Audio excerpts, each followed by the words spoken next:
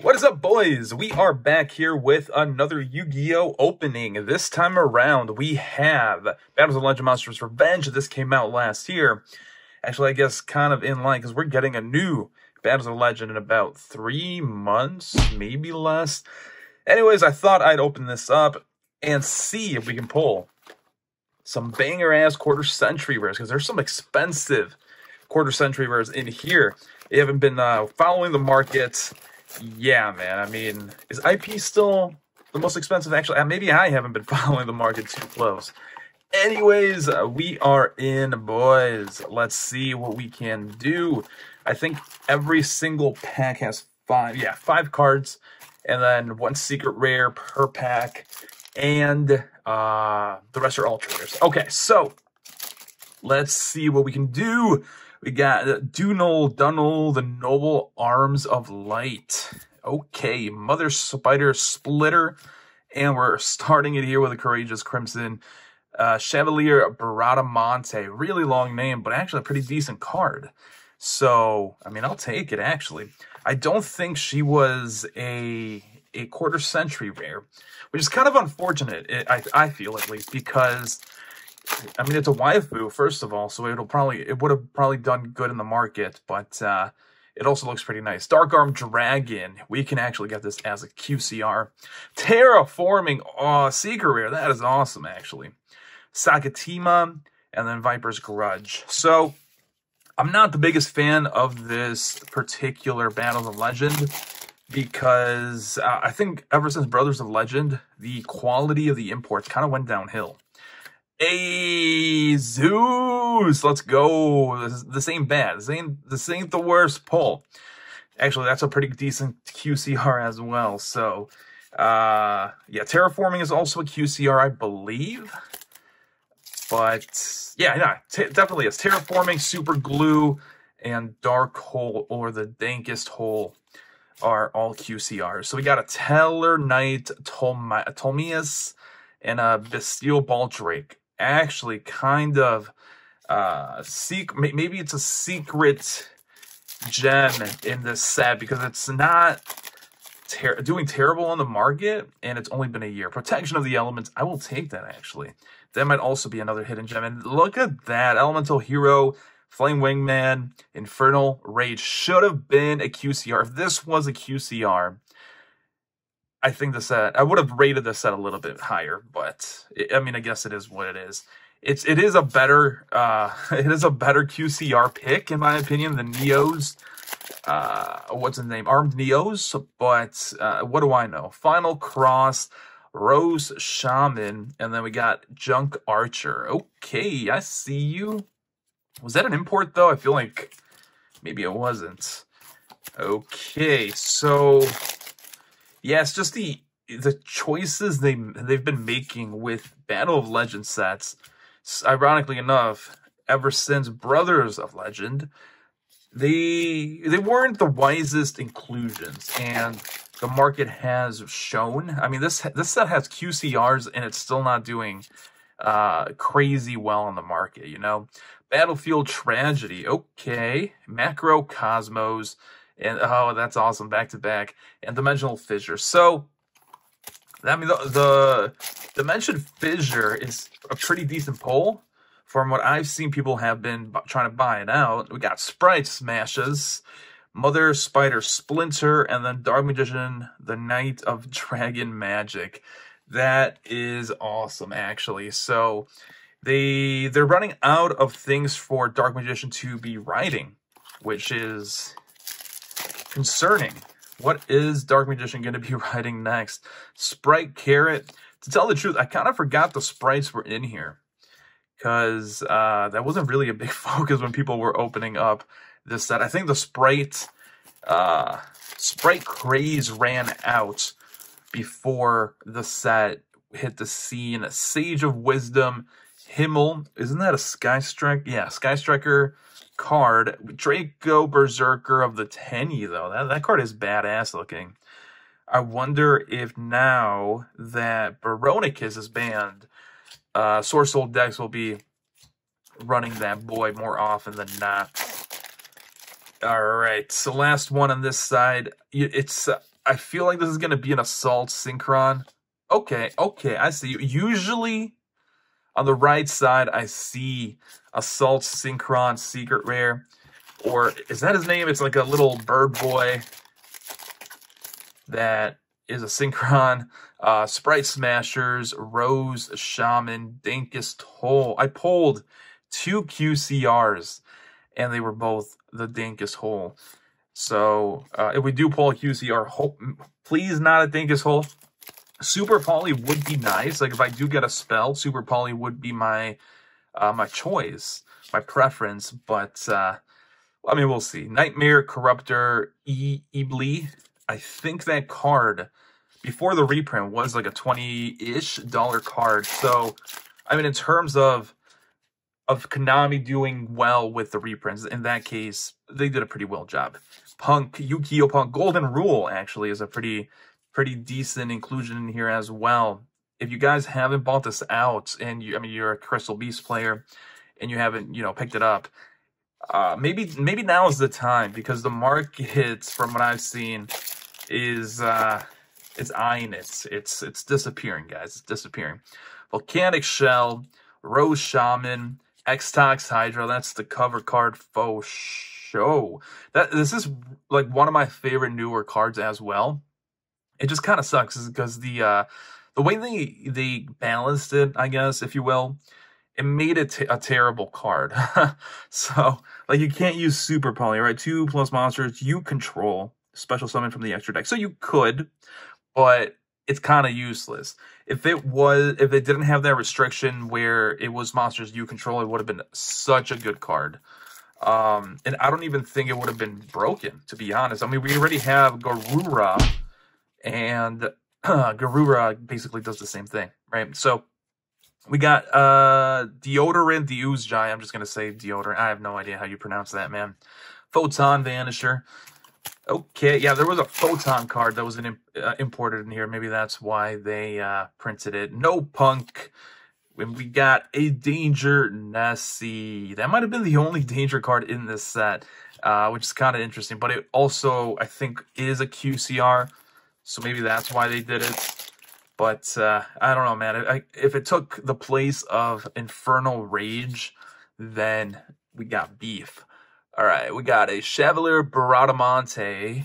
Again, it's a pretty decent card, man. I mean, a lot of decks in general. I mean, let's take a step back. Equipped base decks kind of suck on average, right? Because you you're kind of restricted in, in a sense with um, you're you're shoehorned in, you're you're boxed in into the gimmick, right? And and that kind of sucks. So it is what it is. Link Decoder, Forest of the Lost Flowers, RGB Rainbow Illusion. This was in here. Okay. Yeah, I remember this card. The, the, the name of this card is pretty darn funny. Also, I think people were trying to make this, like, do something with this, but uh, I don't know if they succeeded because it's not that good of a card. All right, three more packs in this box, and then we can move on to the second box here. Ghost Fusion, Praying Mantis, Rocket, Rokket Coder. Oh, yeah, that's true. So I think there were like five imports in particular that were kind of mashups of Protag um, monsters. Ace, uh, maybe not Ace necessarily, but uh, definitely monsters. And uh, that's that was a really cool gimmick, but uh, yeah. I mean, the cards didn't, not all the cards landed, you know? Oh, shit. Okay. That was anticlimactic. I wasn't expecting a QCR from the last pack, to be honest. I didn't know that was a thing.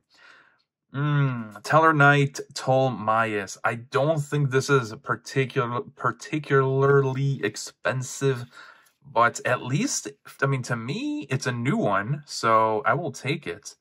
Um, it's kind of damaged, though. Yeah, it's pretty like on the bottom left there and then right over here. So, damn, I really was not expecting that. Tellarknight Tolma Tolmaeus. Okay, okay. What does he do? Two plus level four monsters, once per chain. Quick effect, you can detach three materials from this card, special summon from your extra deck. One exceeds monster that is one rank higher than this card except a number monster by using this face up. This face up card is uh you control material. This is treated as an exceed summon. You can detach seven materials from this. Seven materials from this card. Skip your opponent's next turn. Once per turn during the end phase, you can detach one uh, Stellar Knight card from your extra deck So attach. My bad.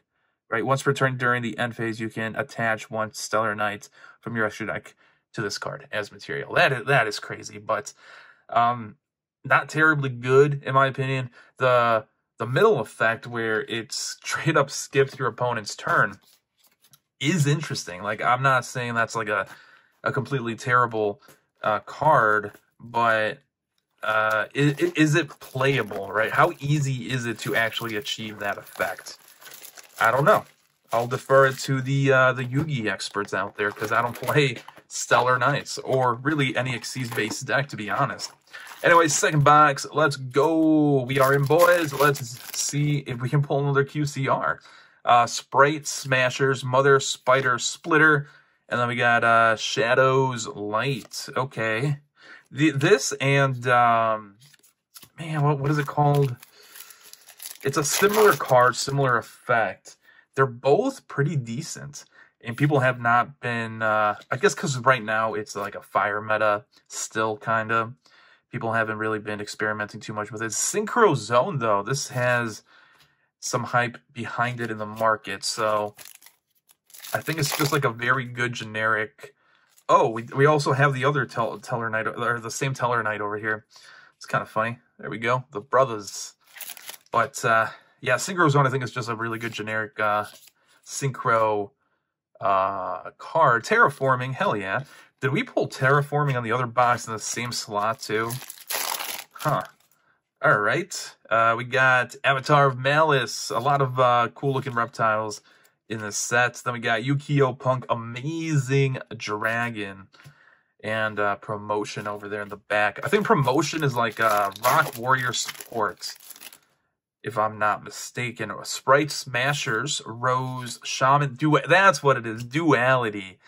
Uh, have like these two cards, Shadow, Shadow's Light and Duality are like secretly very, very good.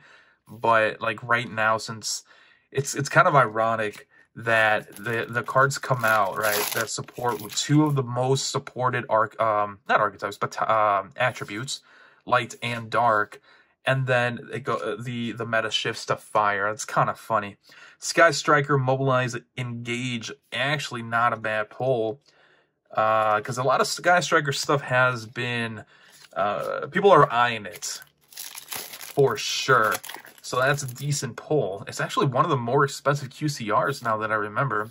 It's like 200 unless it went down.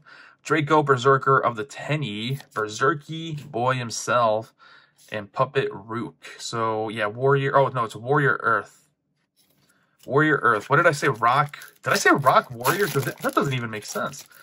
Anyways, so Volcanic Shell, Rose Shaman, Madolche Queen of the Tiramisu. Those Madol is that the only Madolche in here as well? Because if it is, man, that was kind of a weird. Uh...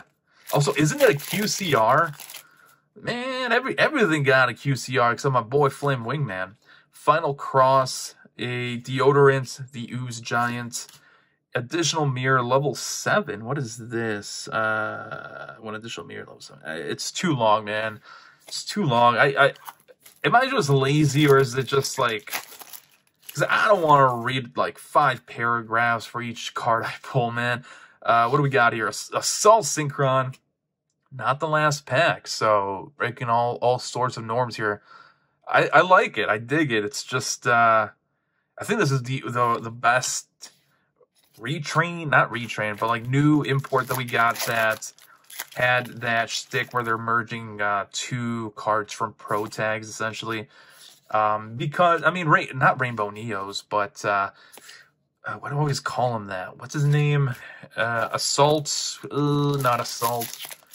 Dark Arm, Armed Neos is a cool looking card, and it, I mean, it's a pretty decent. It has a pretty decent effect. It's just not that good. Like it, it's very situational, right? For example, I mean, speaking of my boy over here, okay, so it's situational. Let's say you go first. The card is useless. Let's say you go second. Well, now you're going second. And you have to wait till turn three to even activate the effect depending on how you summon it. Because if you use Rainbow Rainbow Fusion, then you can't special summon monsters for the remainder of that turn. And that's usually, I mean, that's the easiest way to get them out, right?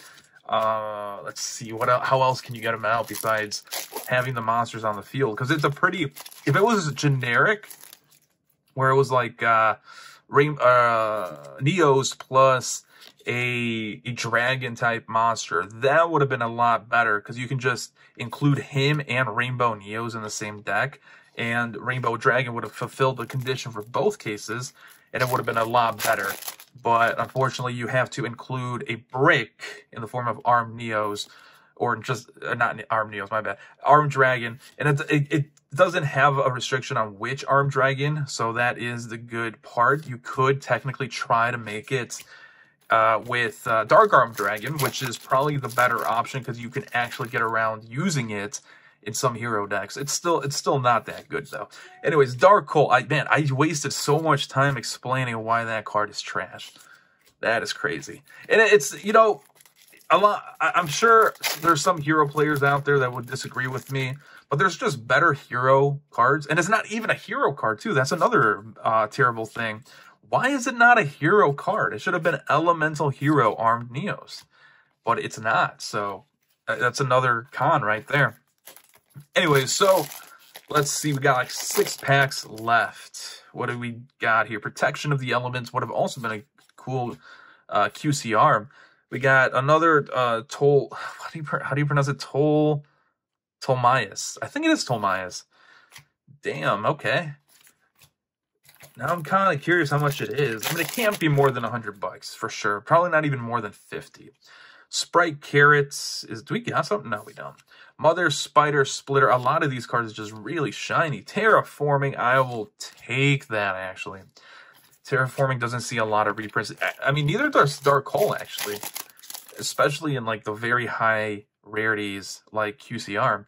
Uh, Celia, Final Cross, Welcome, Labyrinth, Welcome to the Jungle for sure. This card actually, I don't remember pulling that many yeah, I don't remember pulling that many. That's crazy. Okay, so what do we got? Three packs, four packs. I guess technically, since we pulled the QCR in the last pack, there's still potential. So we'll see. Performapal, Odd Eyes, Butler, Ghost, Seeper, Synchro, Zone. Hell yeah.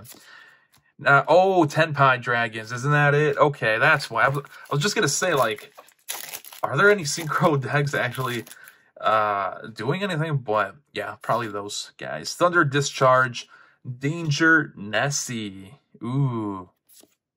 Okay, Vampire Viper's Grudge, not Vampire's Grudge. And uh, promotion. All right, two more packs.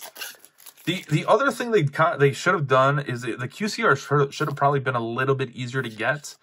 From what I understand, the QCRs are about three per case. So uh, if you open up 12 boxes, three of those have a potential of getting QCR. So I think that's way too low. Should have been about five, I feel. Yu-Gi-Oh! Punk, uh, Sharkuzia, Math, Meth Tech, and No Punk Foxy Tune. Okay, not, not the worst way to end it, actually. It's like a five buck card. All right, guys, we did pull a QCR that I don't know the value of. So, uh, Tellarknight, Tolmaeus, I mean, uh, it even look cool? It's kind of hard to tell because it's an Xyz, so I kind of have to look at the other guy here. Uh, I have no idea what he is. Is he a, a, a unicorn dude or? It's kind of hard to tell. Anyways, catch you guys in the next one.